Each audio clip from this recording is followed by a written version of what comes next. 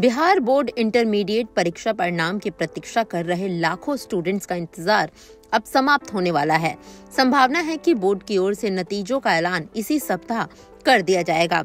उम्मीद जताई जा रही है कि बी एस ई बी एक या दो दिन के भीतर, यानी कि आज या फिर कल, यानी कि 20 या 21 मार्च 2024 तक रिज़ल्ट की घोषणा कर सकता है। इसके बाद फ़ौरन ही नतीजों का ऐलान कर दिया जाएगा।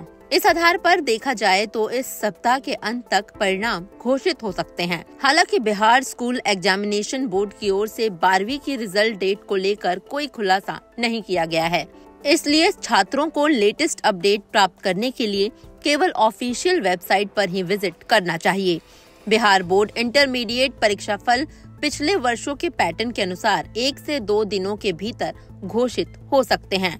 वहीं मीडिया रिपोर्ट में भी ये संभावना जताई गई है कि 21 या 23 मार्च 2024 को रिज़ल्ट का ऐलान हो सकता है। हालाँकि अभी तक बोर्ड ने इस संबंध में कोई डेट जारी नहीं की है।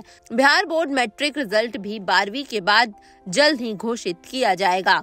संभावना है कि बोर्ड इस महीने के आखिर तक हाई स्कूल का रिज़ल्ट भी जारी कर देंगे। बिहार बोर्ड बारहवीं के छात्र छात्राओं को सलाह दी जाती है कि आज वह अलर्ट रहें। बोर्ड आज आधिकारिक वेबसाइट या फिर सोशल मीडिया के माध्यम से परीक्षा परिणाम की डेट के संबंध में घोषणा कर सकता है।